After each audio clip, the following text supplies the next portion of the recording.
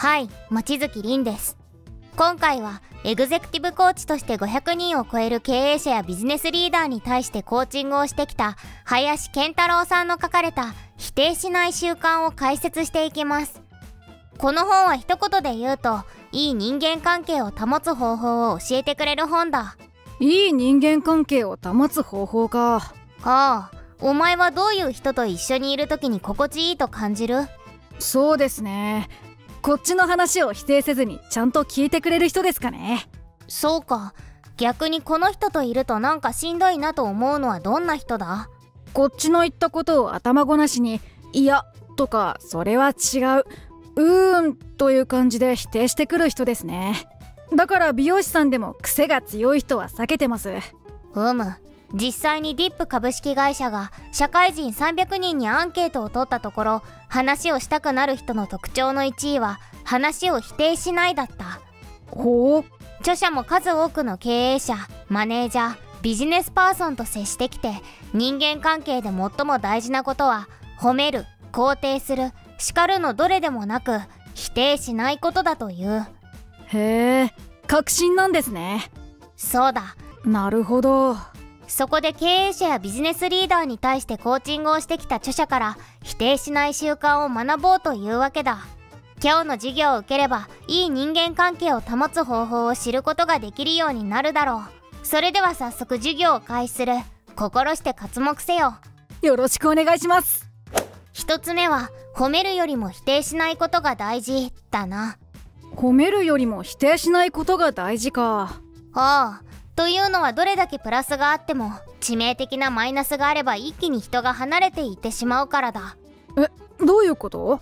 例えば笑顔でものすごくかっこいい人でも体臭が臭かったり目を合わせてくれなかったりネガティブな発言をするなどの癖があるといいところはいっぱいあるのにそのマイナスが際立ってこの人とは付き合えないなとなってしまうことがあるだろう。あーありますねこのように人と付き合う時に大事なのはプラスの部分よりマイナスがないことの方が重要になる。そのマイナスというのはたくさんあるんだがコミュニケーションにおける致命的なマイナスというのがさっきからずっと言ってきた相手のことを否定することだというわけだ。なるほど。どんだけいい部分があっても否定する癖があると人が離れていってしまうということですね。そうだ。でも僕相手を否定することってあんまりないと思うんですけどね。うむ。自分がそう思っているだけで私たちは無意識のうちについ相手を否定してしまっていることが多い。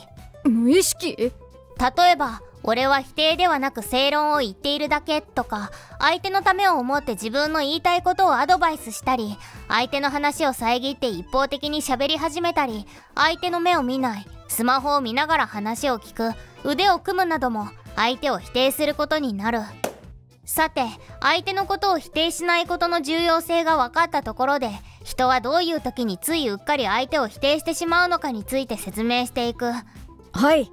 つい相手を否定してしまうシチュエーションは3つある。それは事実だから否定してもいいと思い込んでいる時自分は正しいと思い込んでいる時他人に過剰に期待している時の3つになる。なんか複雑だな。まずは事実だから否定してもいいと思い込んでいる時という部分から説明していこう。はい。これは悪意はない。いやむしろ全員で相手を否定してしまうパターンだ。例えば35歳の男性が結婚したいなと言ったとしようか。はい。でそれに対してえー、っと35歳からの5年間で結婚できる男性はたった5.6%しかいないんですよつまり35歳で独身のやつは95%は永遠に独身なんです。なので一人で楽しく生きる方法を模索した方がいいと思いますよ。あ、ちなみにこれは否定じゃなくて事実を伝えているだけですよ。というのが事実だから否定してもいいと思い込んでいる時のイメージになる。きついなふむ。だがこの発言はものすごく正論だ。なんと言っても数字できっぱりと出ている事実をベースに喋っているわけだからな。ぐぬぬ確かに。5.6%にかけて結婚相談所や自分磨きをしてお金と時間を無駄に投下するくらいならお金と時間を風俗と VTuber とパチンコに使って一人で楽しく生きる方を選んだ方がいいかもしれないですもんね。おおう。だが相手の気持ちはどうだろうか。彼はおそらくただ雑談がしたかっただけで正論やアドバイスを求めていなかった可能性が高い。そうですね。そんな相手に対して正論でバッサリ切ったりすると深く傷ついてしまうしイラッとするだろうし何よりめんどくさいからもう話しかけるのをやめようと思うだろう。うーん。でも正論じゃないですか。ちゃんと事実に向き合うべきだと思いますよ。いいか。正論なんて言われなくても大体みんな分かっているんだよ。分かってるんだが分かるわけにはいかんのだなぜならその正論の先には夢も希望もないからな。つい相手を否定してしまうシチュエーションの2つ目は自分は正しいと思い込んでいる時だな。自分は正しいと思い込んでいる時か。ああというのは自分は正しいと思っていると相手が自分が思っていることと違うことを言った時についつい間違っていると感じて否定してしまうからだな。なるほど例えば女友達が「私ちょっと前から風俗で働いているんだよね」と言ったとしようか。はい。お前ならどうする？もうちょっと考えた方がいいんじゃないかなって思いますね。だって性病になる可能性もあるしすごく心がすり減りそうな仕事じゃないですか。長く続けられるものでもないし。うむだがその人にとっては多くの人に求められてありがとうと言われることで自分の価値を認識したり自己肯定感が上がったり何より極貧生活から誰にも頼らずに一人でマンションを借りて飯を食って生きていける転職になり得ることもある。うぬぬそうか。でもそんなんで身につく自信は本物じゃないと思うんですけどね。本物の自信ってなんだ？いやそれはそもそもお前は体験したことがあるのか？ないですね。いいか。この世の中には絶対の真実などはないんだ。これは多くの本を読めばわかる。これが健康にいいと本に書かれていることでも自分にとっては不健康になるものもあるし違う本には違うことが書かれていることもある。それでも情報を得るのは自分にとっての正解を見つけるためだだがその正解はあくまで自分にとっての正解であり相手にとっての正解ではない。そうですね。つい相手を否定してしまうシチュエーションの3つ目は他人に過剰に期待している時だな。過剰な期待？そうだ。というのは他人に対してこれくらいできるだろうこれくらいやれるだろうという思い込みをするとそれができなかった時に不平不満になりつい相手を否定してしまうからだなるほど。実際に会社に入ってきた新人に対して仕事のできる人がこれくらいできると思ったんだけどな。手抜いてる。こんなのプロの仕事じゃないぞと相手を否定してしまうことはよくある。確かにそういうことありますよね。だがその人だってわざとパフォーマンスを低くしているわけじゃないし嫌がらせするために毎日失敗しているわけじゃないんだ。その人なりに精一杯頑張ってやっているまあそうですね。でも仕事は頑張りとかより結果が大事な気がしますけどね。うむ。確かにそうなんだがだからといって相手を否定すれば結果が出るのかというと全然そんなことはない。というかむしろそんなことをすると最初に言ったように萎縮して場合によっては会社を一斉に辞めたり恨まれたり問題が表面化しない原因になる。ちなみに絵本作家である西野昭弘さんはヒューマンエラーはない。全てシステムエラーだと言っている。へえ。これはミスが起こった時は人ではなくシステムや仕組みの方に問題があったと考えなさいということだな。というのは人のミスを注意してまたミスして注意してを繰り返していても拉致が開かないからな。確かにそうですね。さてここからはどうすれば否定せずに会話ができるのかについて説明していく。はい。まずは否定しそうになった時は「かもしれない」をつけて視野を広げることだ。かもしれないをつけて視野を広げる？ああというのは否定する時っていうのはついつい反射的に口から出てしまうことがあるからな。そうなる前に頭の中で否定を転換するんだ。どうやって？お笑い芸人のぺこぱさんの漫才みたいに「かもしれない」をつけることだ。例えばこいつの意見は間違っていると思っている自分が間違っているのかもしれないとかパソコンは Mac が絶対にいいと思っている自分が間違っているのかもしれないとか車は維持費が高いから持つべきではないと思っているけど車にはそれ以上の魅力があるのかもしれない。子供がうるさいと思っているけど自分も子供の頃うるさかったし何より元気なのはいいことだって感じだな。おお。さっきも言ったんだが私たちが否定をする一番の原因は俺は正しい相手は間違っているという哀れな思い込みだ。はい。まるで自分がこの世界の全てを知り尽くした気になっているがそんなことはない。次は会話はそうなんですね。なるほど。でまず相手を承認することから始めるだな。まず相手を承認するか。ああというのはここまで話してきた通り相手が話していて一番求めているのは承認だからだ。承認か。そうだ。